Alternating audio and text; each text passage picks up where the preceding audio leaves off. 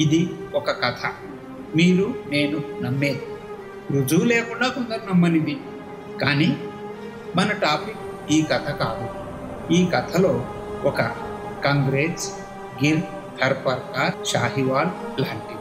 పూర్వం లక్షల వేల సంవత్సరాల క్రితం శ్రీ మహావిష్ణువు ఒక ముని శాపం కారణంగా భూమి మీద వచ్చాడు. మరి మనిషి అన్నాక ఆకలి నిద్ర బాధలు ఉంటాయి కదా.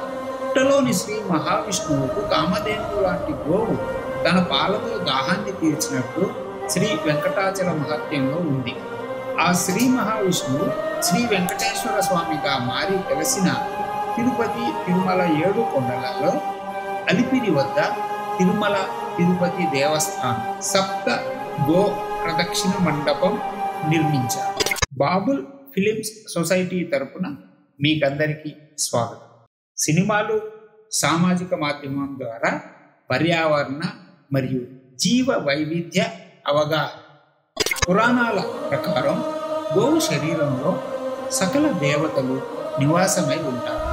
శ్రీ వెంకటేశ్వర గో సంరక్షణ శాలలో పదమూడు దేశీయ గో జాతులు ఉన్నాయి. ఈ వీడియోలో ఆసక్తికరమైన గోవు జాతి గురించి చెప్పబోతున్నాను. స్కిప్ చేయకుండా చివరి వరకు చూడండి. విజువల్ వచ్చినప్పుడు గుర్తు చేస్తాను. హెడ్ ఫోన్స్ దగ్గర ఉంచుకోండి. సప్త గిట్లకు సూచికగా ఏడు గోవు జాతులను సప్త గో ప్రదక్షిణ మందిరంలో ఏర్పాటు చేశారు. హల్లికర్ జాతి ఆవు కర్ణాటక ప్రాంతానికి చెందింది. పొడవాటి వెనుకకు వంగిన కొమ్ములు దీని ప్రత్యేకత. దున్నడానికి ప్రపంచంలో ఎద్దు మరియు ఆవు రెండింటినీ ఉపయోగించగల ఏకైక జాతి ఇది. మీరు చూస్తున్నది కేసు జాతి సాధారణంగా గుండ్రని గోపురం లాంటి ముద్దులు పొడవాటి చెవులు బయటకి మరియు వెనుకకు తిరిగిన కొమ్ములు గల విలక్షణమైన జాతి ఇది. ప్రపంచంలోని ఒకే ఒక్క కుంభాకార జాతి ఇది. కంగాయం తమిళనాడు యొక్క జాతులలో ఒకటి.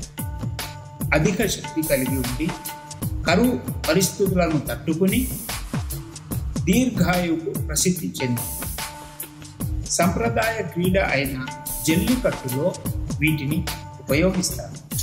కంగ్రేజ్ జాతి గుజరాత్ రాష్ట్రంలోని రాన్ ఆఫ్ కచ్ మరియు రాజస్థాన్లకు సంబంధించింది. ఇది ద్వంద్వ ప్రయోజన జాతి.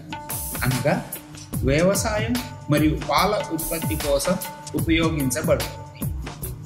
పెద్ద చెవులు మెలి తిరిగిన కొమ్ములు ఈ జాతి యొక్క ప్రత్యేక లక్షణం. సాహివాల్ జాతి భారతదేశం మరియు పాకిస్తాన్లోని ఉత్తమ పాడి జాతులలో ఒకటి. ఇది అధిక వేడిని తట్టుకోగలదు మరియు పరాన్నజీవుల నిరోధకతకు ప్రసిద్ధి చెందింది. రంగు ఎరుపు గోధుమ నుండి ఎరుపు వరకు ఉంటుంది. చాలా దృఢంగా కనిపిస్తుంది.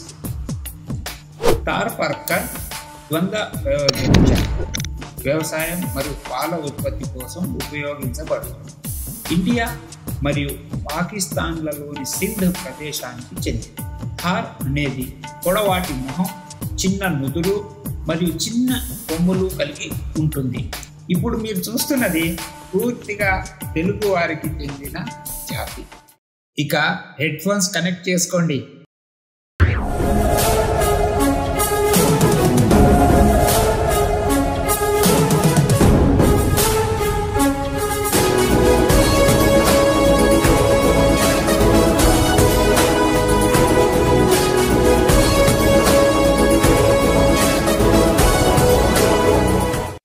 ఒంగోలు జాతి.